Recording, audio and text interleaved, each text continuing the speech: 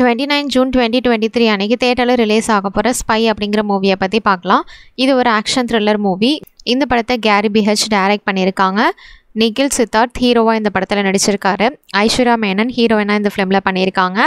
சானியா தக்கூர் ஒரு கேரக்டரில் நடிச்சிருக்காங்க. அபினவ் கௌ கோமத்தம் ஒரு கேரக்டரில் பண்ணியிருக்காங்க. இந்த படத்துக்கு சினிமோட்டோகிராஃபி வம்சி பச்சி புல்சோ மார்க் டேவிட் சேர்ந்து பண்ணியிருக்காங்க. ஸ்ரீசரண் பக்லா பேக்ரவுண்ட்ஸ் மியூசிக் பண்ணியிருக்காங்க இந்த ஃபிலிம்க்கு மியூசிக் விஷால் சந்திரசேகர் கம்போஸ் பண்ணியிருக்காங்க எட் என்டர்டைன்மெண்ட்ஸ் இந்த படத்துக்கு ப்ரொடியூஸ் பண்ணியிருக்காங்க.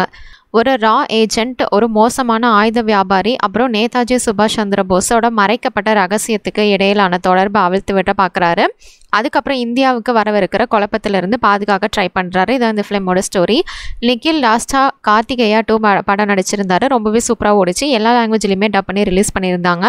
அதனால இந்த படத்துக்கும் எக்ஸ்பெக்டேஷன் அதிகமாக இருக்குது பாப்பா படம் எப்படி இருக்க போகுதுன்னு.